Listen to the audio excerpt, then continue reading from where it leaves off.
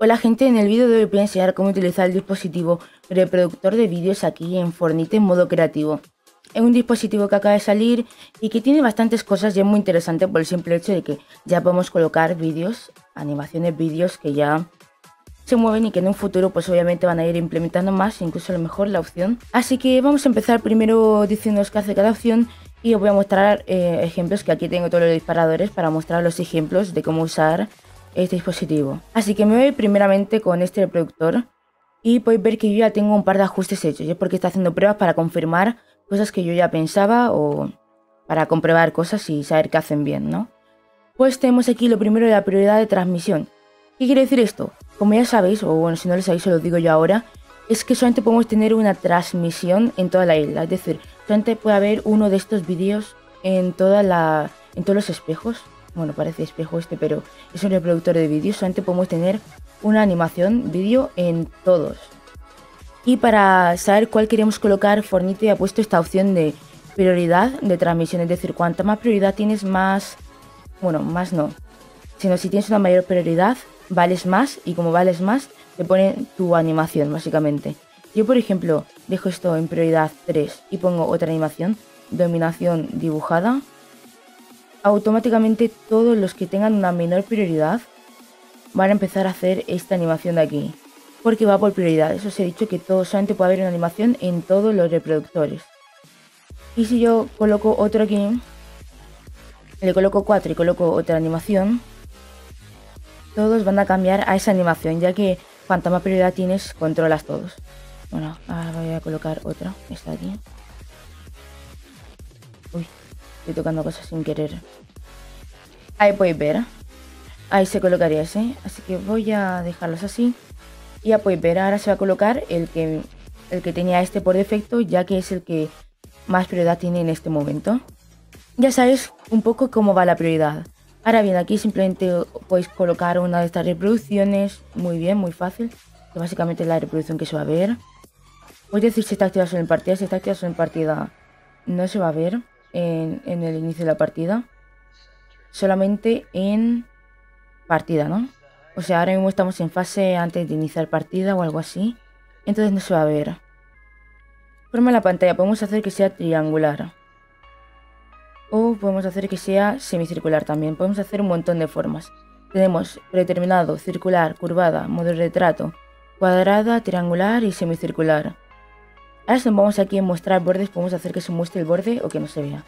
Y esto pues podéis utilizarlo por si queréis hacer vosotros un borde personalizado o colocarlo en una ventana o algo así por el estilo sin que vea el borde, podéis utilizarlo. También podemos colocar aquí un volumen.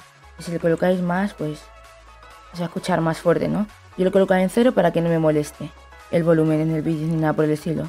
Pero se va a colocar el volumen del vídeo con prioridad también. Distancia de atenuación. Esta es la distancia a la cual el sonido va a dejar de escucharse, o sea, el volumen ya no se va a escuchar. Si coloco 100 metros y yo estoy a 101 metros, ya no se va a escuchar el sonido de la retransmisión. El iniciar cuando se cargue. Esto es para que cuando se vuelva a cargar, es decir, eh, mirad, por ejemplo, si yo cambio esto a solo en partida, cargaría automáticamente el de prioridad 2 entonces puedo colocar esa opción que os acabo de decir de que se reinicie para que vuelva a comenzar desde el principio la animación. Si no colocara eso, pues se quedaría por donde estaba, ¿no? Ahí está, lo dejo en todo y ahí podéis ver. Ahora mismo se va a volver a cargar este de aquí y al cargarse se va a poner desde el principio, como podéis ver, porque tenemos la opción de reiniciar cuando se cargue la transmisión. En bucle para que se repita constantemente, haga un, haga un bucle, básicamente se reinicie todo el rato y comportamiento de la reproducción, es decir, podéis saber, sabéis que este de aquí tiene la máxima prioridad de transmisión. Entonces, imaginar que yo le doy eh, la máxima prioridad a este, con una opción que os voy a decir ahora. Le doy el control a este, que es así como se llama la opción, le doy el control a este. Entonces puedo colocar que se detenga. Y no se va a detener ahora porque la que, la que tiene la prioridad ahora mismo es esta de aquí. Bueno, básicamente ahora en partida muestro cómo funciona. Pero básicamente será eso. Si le doy el control a este, por ejemplo, lo que va a pasar es que va a apagarse. Voy a colocar, por ejemplo, en este de aquí que se detenga. ¿Ok? Para que ahora lo pueda mostrar. tiempo de búsqueda. Esto es para utilizarlo junto a otra opción que ahora voy a decir. Básicamente es el tiempo de búsqueda al activarse, el tiempo que tarda en establecer el vídeo. El vídeo. Tiempo de interacción, esto es para que podamos interactuar en parte, o sea, como si estuviéramos recogiendo un arma. Básicamente para poder interactuar. Si queremos que lo mantengan, lo subimos y si queremos que sea instantáneo, pues no lo subimos. Y si queremos que no interactúen, colocamos que no interactúen. Establecer colisión. Podemos colocar colisión habilitada o deshabilitada. Esto es para que podamos chocarnos con el dispositivo. Como podéis ver, ahora mismo me estoy chocando. Pero si le quito, no sé si afectará en partido. Efectivamente, afecta en... Bueno, antes de partida que diga. Afecta antes de partida y lo que sucede es que ya podemos cruzarlo sin ningún problema. Esa es, la colisión. Voy a colocarla otra vez habilitada. Entonces, eh, vamos por aquí. Allá vamos por las opciones de, transmitir, ¿no? Y de recibir. Tenemos habilitar y deshabilitar. No hay mucho más que explicar porque todos los dispositivos tienen esta opción. Reiniciar. Esto es para reiniciar la transmisión desde el principio. Buscar. Esto es lo que tiene que ver con este esta opción de aquí. donde está? Un tiempo de búsqueda. Aquí. Básicamente este es para... Este aquí es el tiempo en el cual tarda en buscar. O sea, para que... No, a ver, me estoy explicando mal. Para que me entendáis, básicamente, esto es por donde vamos a transmitir. A transmitir desde, no sé, un disparador que transmite el 2. Coloco aquí canal 2.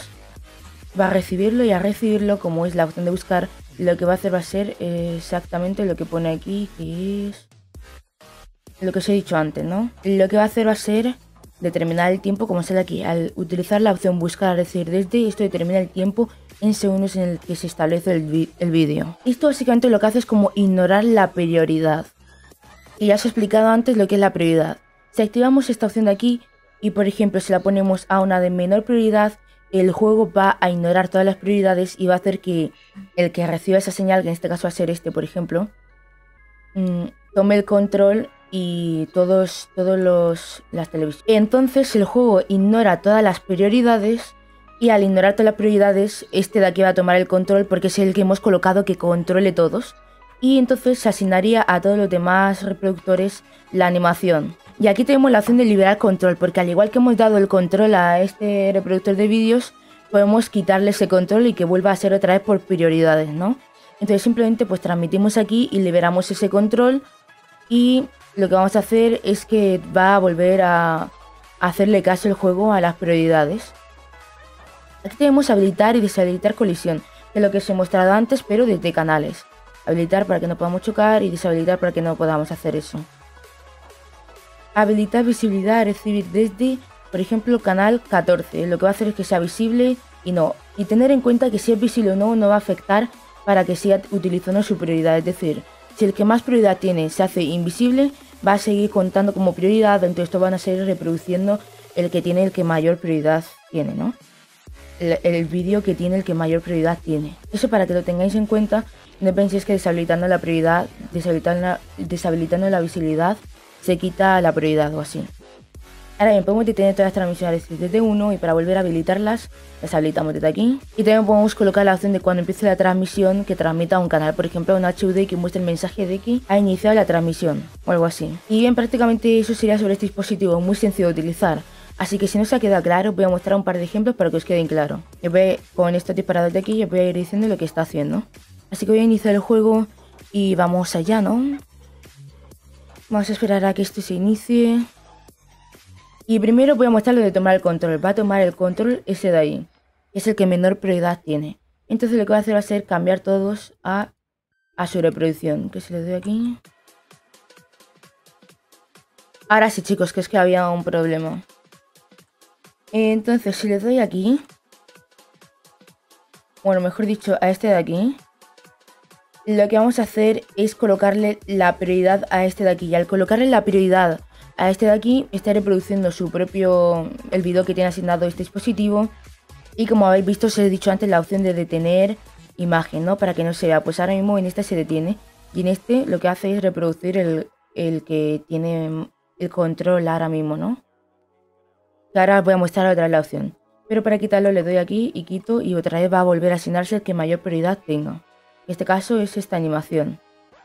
Bien, ahora vais a ver cómo se va a reiniciar otra vez la animación. Le doy aquí Voy a esperar a que se asigne este de aquí y ahora le doy aquí y se va a volver a reiniciar del inicio el que mayor prioridad tiene. Ahí podéis estar viendo. Vale, perfecto. Pues ahora vamos a, vamos a deshabilitarlos desde aquí y se detiene la transmisión en todos. Pero si le doy aquí y habilito, se vuelve a habilitar para todos. Entonces desde este de aquí podemos deshabilitar la visibilidad y como podéis ver con este aquí se deshabilita la visibilidad. Pero se sigue reproduciendo el que mayor prioridad tiene, como os he dicho antes. Sigue reproduciéndose. Y prácticamente eso sería todo sobre este dispositivo. Espero que lo hayas entendido. Cualquier duda en los comentarios. Y no olvides suscribirte si te ha gustado este vídeo y si has entendido lo que, cómo funciona el dispositivo. Y ahora sí, nos vemos en un próximo vídeo.